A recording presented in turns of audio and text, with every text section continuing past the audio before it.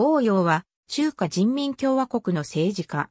中国共産党第19期中央政治局常務委員会委員第17.1819期中央政治局委員。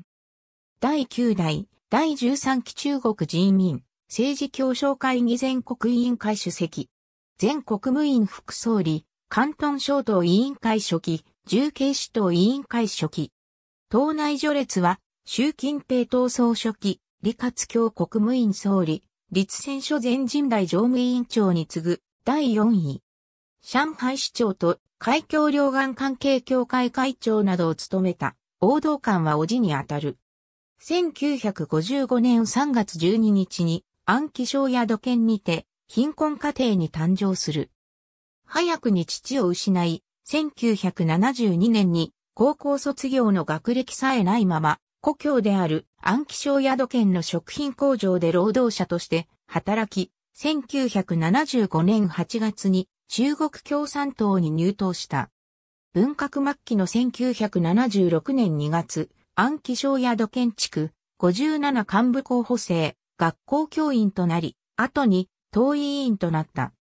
1979年に中国共産党中央党校理論宣伝幹部班に抜擢され、政治経済学を学習した。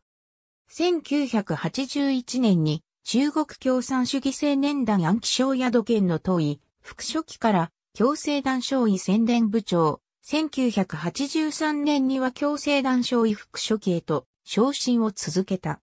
1984年からは暗記省体育委員会主任、同僚市導委員会副書記兼副市長、同僚市長、省長助理、表敬主任などを歴任し、1993年に最年少で副省長就任。1995年まで中国科学技術大学で工学修士号を取得した。1999年9月に主要期内閣で国家発展計画委員会副主任。2003年温家法内閣で国務院副秘書長。国家機関党組、副書記、国務院三協工程建設委員会委員を兼任。2003年3月、温家宝内閣の下で、国務院副秘書長となり、国務院弁法庁の日常業務を担当。国家機関等組、副書記、国務院三協工程建設委員会委員などを兼任。2005年重慶市党委、初期、2007年12月から、関東省党委書記となった。2007年10月の第17期一中全会で2階級特進の中国共産党中央政治局委員入りを果たす。いわゆる共生団派で、胡錦涛党総書記に抜擢された。2008年1月に中国中部を寒波が襲い、送電線が雪の重みに耐えきれず倒れるなどして、インフラに多大な影響を及ぼした。旧正月を直前に控えた関東省では、地方からの労働者が帰省のため駅に殺到していた。回復の見込みがないため、応用は今年の帰省を見送るよう求め、大多数がそれに応じたものの、被害対策の責任者だった温家宝国務院総理が、旧正月前に帰省できると発言したため再度駅に押し寄せし、対応に追われた。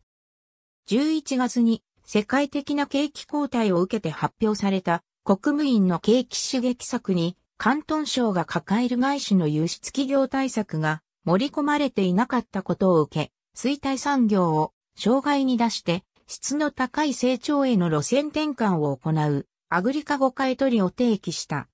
中小企業の切り捨てや失業者対策を半ば放置した発言をしたため、温家宝国務院総理と再度対立する。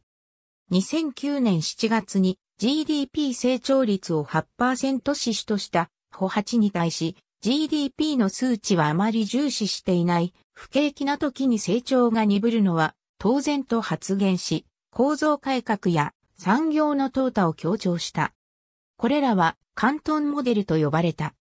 2009年に公認である薄木広白井統一書記によって重慶市で大規模な汚職追放キャンペーンが展開され、商工案副局長や司法関係者を含む2000人以上が逮捕され、薄木広白井と対立した。2012年12月に、小遥に初期職を譲り退任した。2013年3月に、李克強国務院総理の下で、国務院副総理に就任した。2017年10月に、第19期一中全会において、党中央政治局常務委員会委員に選出された。そして第16期中央候補委員、第17.1819期中央政治局委員、第19期中央政治局常務委員会委員となり、2018年3月に中国人民政治協商会議全国委員会主席に就任した。率直でわかりやすい発言で知られていて、記者団のインタビューに積極的に応じている。また、言論の自由などに寛容的で、新産業の育成や経済の活性化に熱心な改革派として知られる。ありがとうございます。